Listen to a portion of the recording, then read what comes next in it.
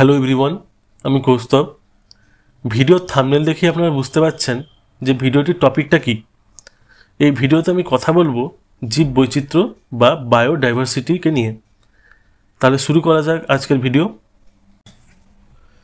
আমরা পৃথিবী নামক গ্রহে বাস করি। আমাদের সাথে বসবাস করে বিভিন্ন ধরনের উদ্ভিদ প্রাণী। বাড়ির বাইরে বেরোলেই দেখি আম গাছ, কলা গাছ, আবার রাস্তায় কুকুর, বিড়াল, ছাগল, নানান ধরনের পাখি। এই সব কিছু নিয়ে গড়ে উঠেছে আমাদের পরিবেশ। এই পরিবেশে শুধু জৈব নয়, অজৈব উপাদানও রয়েছে। এদের অ্যাবায়োটিক উপাদান বলে, যেমন আলো, বায়ু, জল, উষ্ণতা প্রভৃতি। জৈব, অজৈব ও বিভিন্ন জীব নিয়ে গঠিত প্রাকৃতিক একক, যেখানে বিভিন্ন জীবগোষ্ঠী নিজেদের ও তার আশেপাশে সকল উপাদানের সাথে মিথস্ক্রিয়া দ্বারা জীবনধারা বজায় রাখে, তাকে বলা হয় বাস্তুতন্ত্র বা ইকোসিস্টেম। এইরকম কোনো বাস্তুতন্ত্র বা পরিবেশে জীবদের মধ্যে, অর্থাৎ উদ্ভিদ ও প্রাণীদের মধ্যে যে বিভিন্নতা দেখা যায়, তাকে বলে জীববৈচিত্র্য বা বায়োডাইভার্সিটি। আমরা জীববৈচিত্র্য ব্যাপারটিকে একটি সিম্পল উদাহরণ দিয়ে বোঝার চেষ্টা করি। ধরুন দুটি বক্স বক্স ওয়ান ও বক্স টু এখানে আমরা দেখতে পাচ্ছি দুটি বক্সেই নটি বল রয়েছে। কিন্তু বক্স ওয়ানে A B C D E F বিভিন্ন ধরনের বল রয়েছে। বক্স টুতে যদিও বক্স ওয়ানের মতোই নটা বল রয়েছে, কিন্তু এখানে শুধুমাত্র এ এবং বি বল রয়েছে। তাহলে এই ছবি দেখে আমরা বলতে পারছি যে বক্স ওয়ান হচ্ছে বেশি জীব বৈচিত্র্য সম্পন্ন অর্থাৎ বেশি বৈচিত্র্য সম্পন্ন কারণ এখানে নানা ধরনের বল রয়েছে। বক্স টু কম্পারেটিভলি কম বৈচিত্র্যপূর্ণ। তবে বলতে পারি diversity in box one greater than diversity in box two জীবজগতেও এই একই জিনিস ঘটে।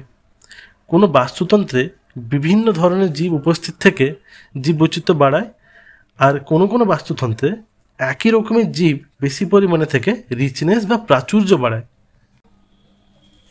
জীব বৈচিত্র্য বা বায়োডাইভার্সিটিকে আমরা মেনলি তিনটি ভাগে ভাগ করি। জেনেটিক ডাইভার্সিটি বা জিনগত বৈচিত্র্য স্পিসিস ডাইভার্সিটি বা প্রজাতিগত বৈচিত্র্য ইকোলজিক্যাল ডাইভার্সিটি বা বাস্তুতন্ত্রগত বৈচিত্র্য।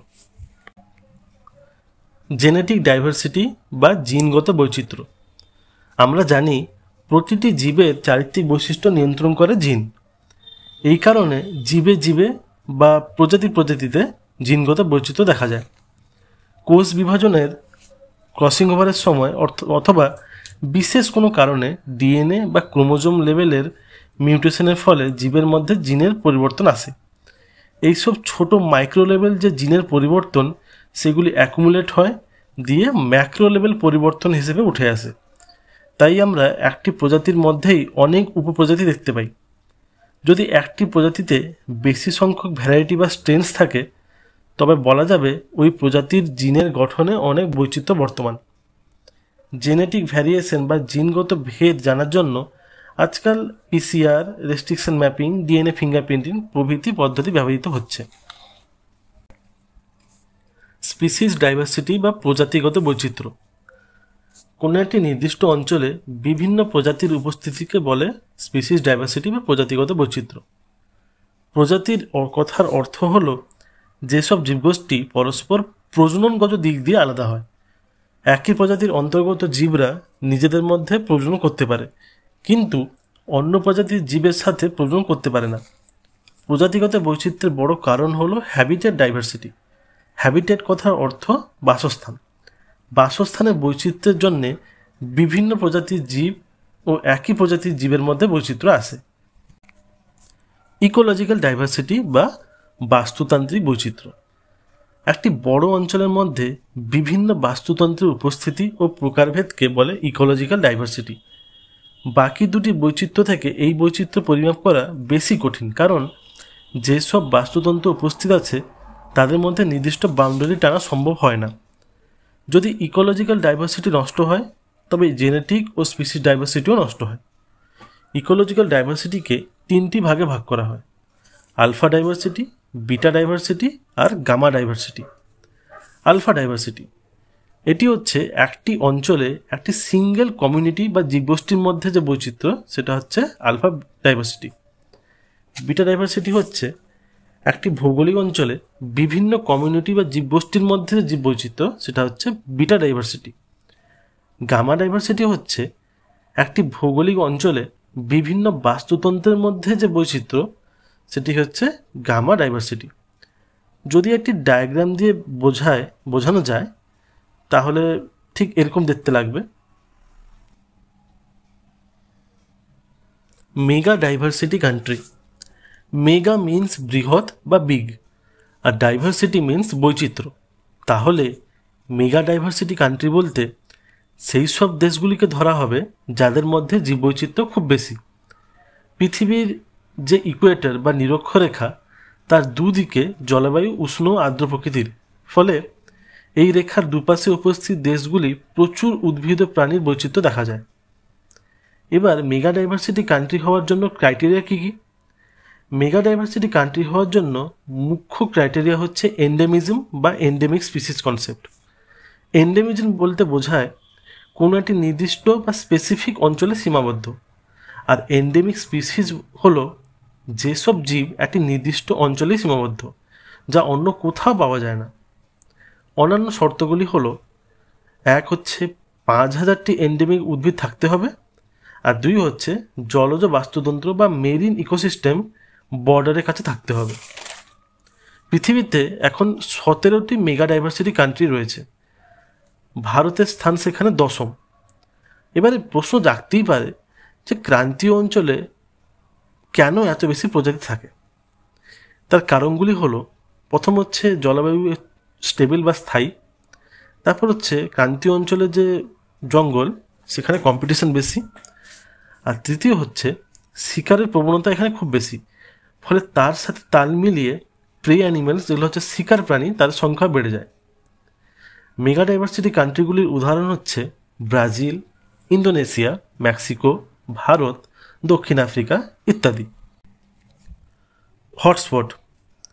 ধরুন, আপনি একটি লোহার রড নিয়েছেন।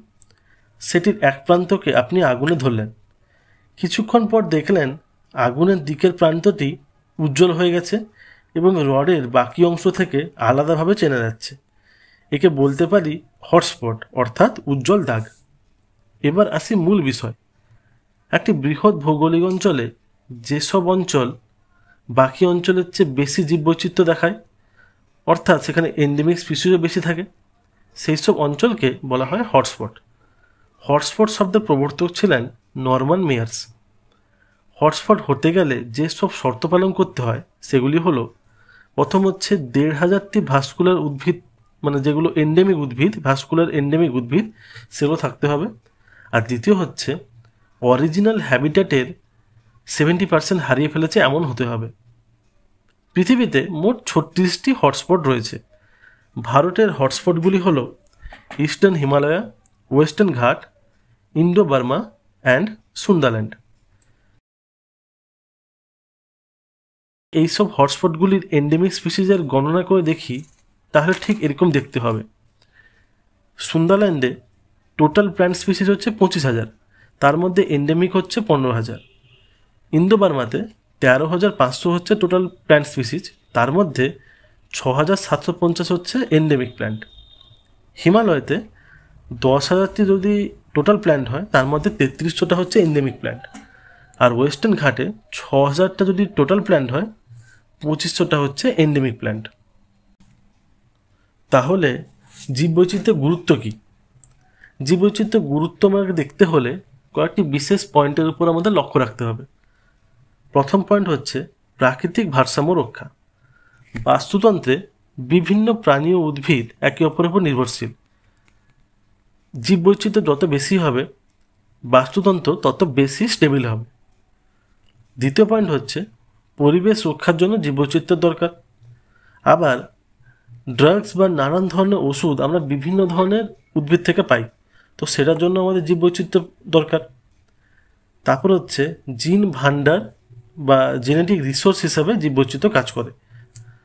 আরও হচ্ছে, খাদ্যের উৎস হিসেবে সবুজ উদ্ভিদের প্রাচুর্যের জন্য আমাদের জীববৈচিত্র্যের দরকার। তাহলে আজকের মতো ভিডিওটি এখানেই শেষ হলো। পরের ভিডিওতে আমি কথা বলব যে জীববৈচিত্র্য হ্রাসের কারণ কি এবং জীববৈচিত্র্যকে আমরা কীভাবে সংরক্ষণ করব। ভিডিওটি যদি ভালো লেগে থাকে, তাহলে ভিডিওটি লাইক করবেন, বন্ধুদের সাথে শেয়ার করবেন এবং বায়োজিনিয়াস এইটিএস চ্যানেলকে সাবস্ক্রাইব করবেন। ধন্যবাদ।